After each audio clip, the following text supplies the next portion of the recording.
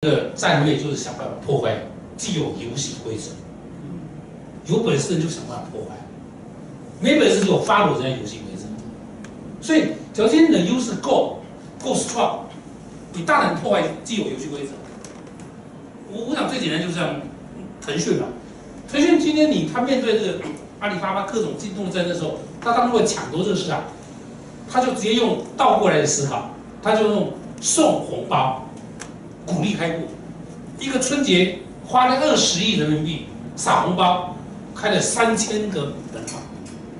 就奠定三千万的的门号，他倒过来走。所以说，有时候你的经营模式你大胆，然后你有破坏性创新，所以我常觉得破坏性创新在竞争里面是非常需要的，